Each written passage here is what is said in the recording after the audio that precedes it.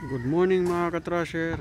Nandito ka, nandito naman tayo ngayon sa basketball court ng phase 2, Corregina Bay. Uh, ina-observe natin yung basketball clinic ni Coach Garnett. So ngayon, ang ginagawa niya ngayon, uh, endurance. Sprint yun.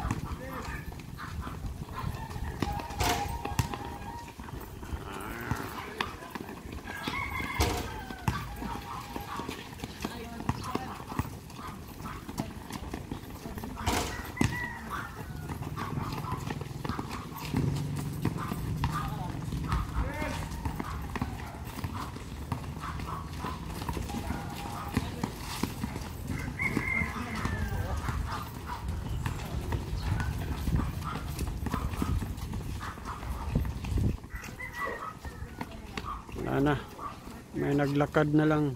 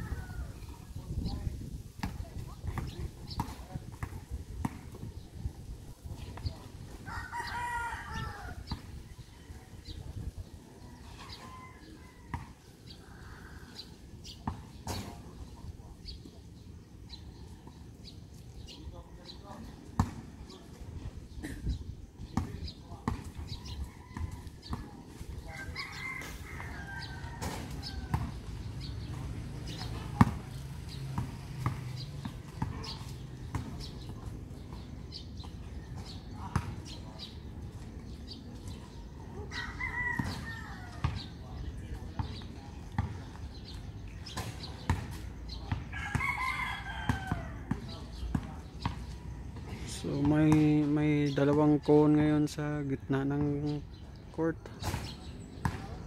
Ang gagawin diyan.